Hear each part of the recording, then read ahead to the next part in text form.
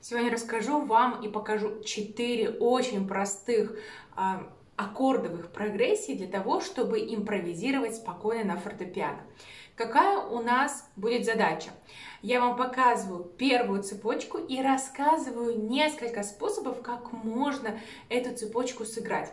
Ну, а потом вдобавок еще и три новеньких, свеженьких вам на выбор. Все тайм-коды оставляю внизу, поэтому разворачивайтесь, смотрите и обучайтесь. Первый аккорд это АМ, F, С и Г. Смотрите, мы можем э, первый вариант нотку А дублировать в левой руке. И мы играем с вами аккорд А, потом F, переносим F, потом С и Г. Но смотрите, у нас получается такой какой-то прерывистость, потому что мы руку мотаем туда-сюда. Показываю, следите за руками. Вот я беру, к примеру, первый аккорд. АМ. Дальше я беру аккорд F. В левой руке будет F нотка, а в правой руке я пытаюсь сыграть любые нотки, которые входят в этот аккорд. Вот у меня был А, М, теперь F мажор. То есть, видите, я как бы его сыграла не вот так вот, а вот так вот. Эту нотку я сыграла сюда. Дальше С мажор нотку С я играю здесь, а тут я ищу ноты, которые входят в аккорд этот. Я думаю, что я сыграю вот так вот. С мажор и Г мажор. Вот самые близкие нотки. То есть моя задача подобрать максимально близкие разные соотношения, чтобы у меня рука не прыгала. Это первый способ. Потренируйтесь так сделать. Второй способ. Я в левой руке нажимаю октаву, а в правой руке я все нотки играю по порядку вверх.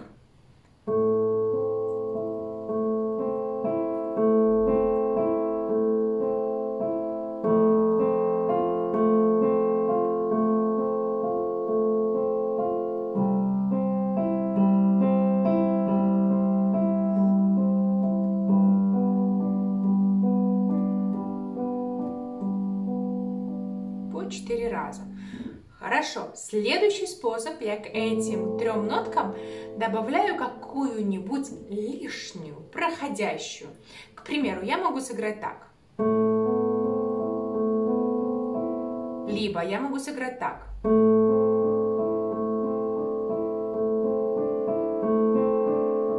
Дальше F мажор.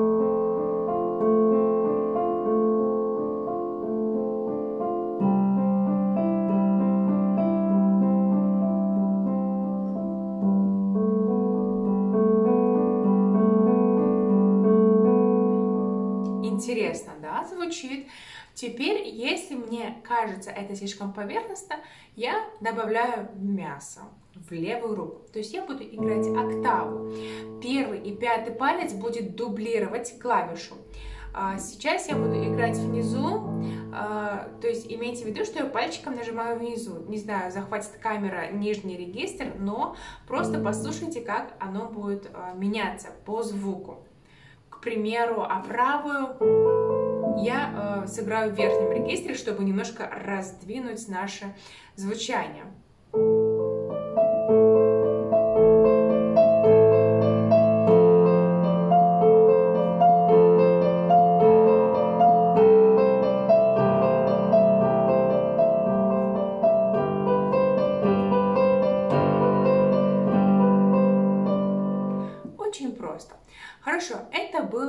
Нас, ну как сказать, можно волна в правой руке. Давайте посмотрим еще варианты, как можно сыграть. Смотрите, левая рука все так же нажимает э, нотку А, правая рука.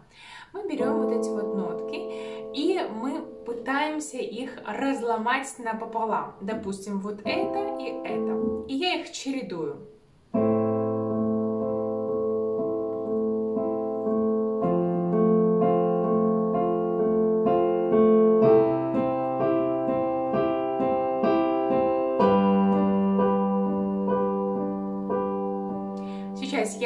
Сыграла все эти аккорды, но я их немножечко снова нотки переставила. Хорошо, если для вас это просто, добавляем какую-нибудь а, смешанную нотку. Ну, допустим, к примеру, вот так вот. Вот у меня аккорд А минор. Я добавляю вот эту вот лишнюю нотку.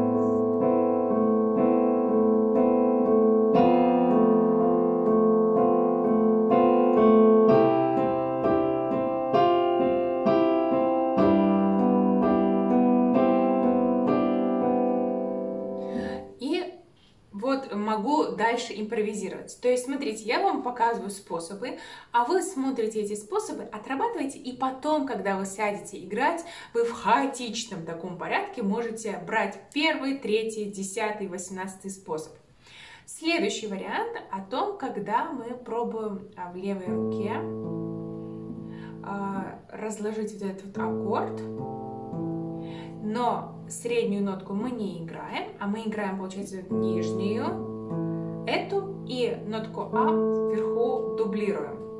А в правой руке мы можем играть просто какую-то мелодию, которую нам захочется. Давайте я вам покажу только левую руку.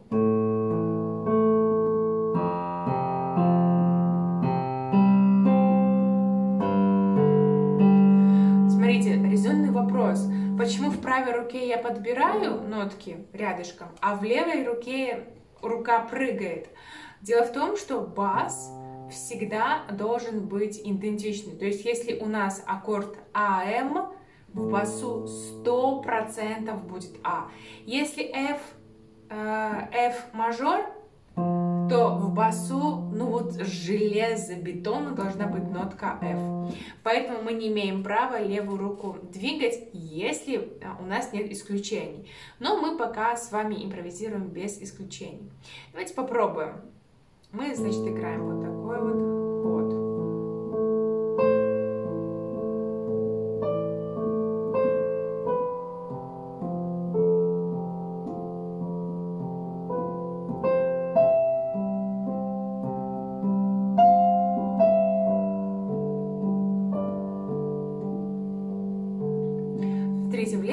Вы можете играть э, по четному. Раз, два, либо раз, два, три, четыре, как вам э, захочется.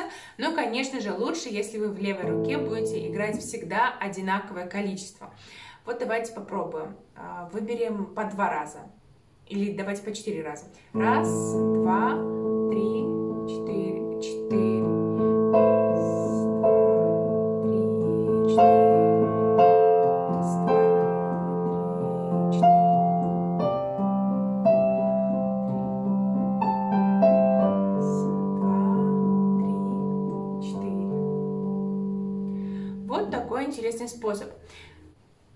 Давайте посмотрим еще очень интересный. Мы в левой руке а, можем а, играть.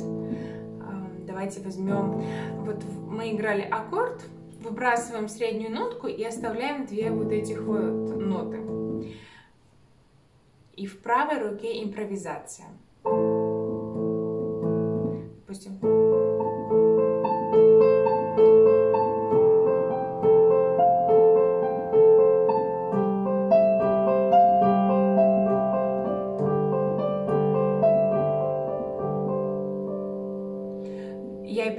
Основные ноты, тоже в, лев, в правой руке, и попробую вот этот А, М разыграть. Допустим, да, да.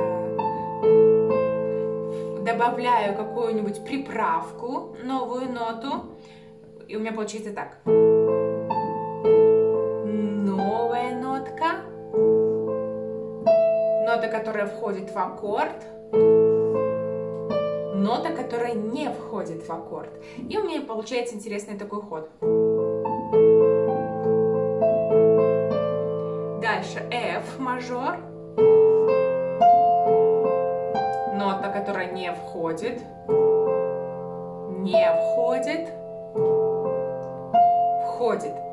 В аккорд. И я вот так вот чередую. То есть старайтесь чередовать ноты, которые не входят в аккорд, и нотки, которые входят в аккорд для того, чтобы у вас была, а, был баланс, потому что если вы будете шпарить, так сказать, по нотам, э, которые не входят в аккорд, допустим, вот послушайте, это будет немножко как, как, как афонично.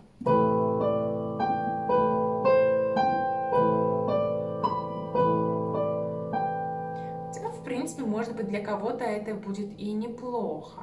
Но все равно я бы вам посоветовала на начальном этапе отталкиваться именно от нот, которые входят в аккорд. Так, вот это основное, что хотела сказать. Смотрите, у меня на канале еще есть э, видео про импровизацию. Записывайтесь ко мне на занятия, если вы хотите э, индивидуально это все проходить и сэкономить себе время, потому что на самом деле самостоятельно учиться это прекрасно, но когда ты учишься с педагогом, ты проходишь этот путь быстрее и тебе намного легче. Ну и, конечно же, мотивация и все остальное прилагается. Записывайтесь, э, оставляю все ссылочки внизу на мой сайт, на мой а, инстаграм. Поэтому встретимся в следующих видео и до встречи!